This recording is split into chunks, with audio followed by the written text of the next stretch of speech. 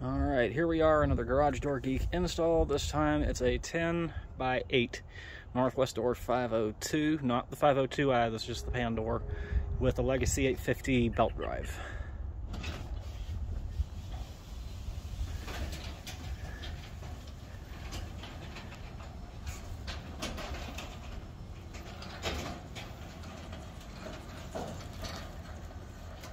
Yeah, things are a little out of whack in this building. So this also has, we're actually not carrying the standard keypads, we're just carrying the universals. So this has our new overhead door universal keypad. I have the default code on it. I love that beeping. I don't trip over anything and break my neck. Customer had to cut us out enough space to put this door in and he reframed the opening himself. Did a really good job of it, I think.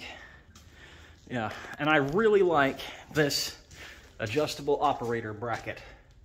This is so nice because it fits so many more doors than what the standard flat plates give us.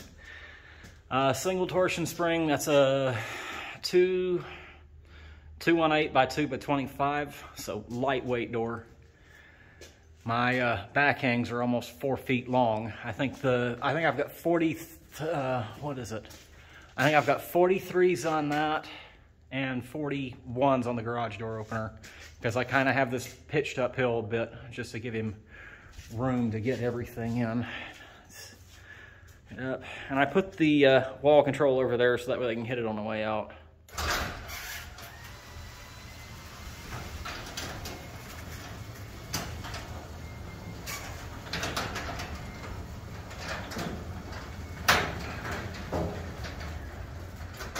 See, even my pan doors run quietly. All right.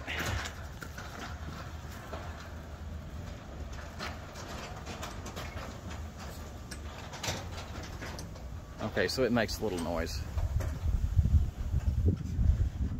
That's it. Thanks for watching, and y'all have a good one.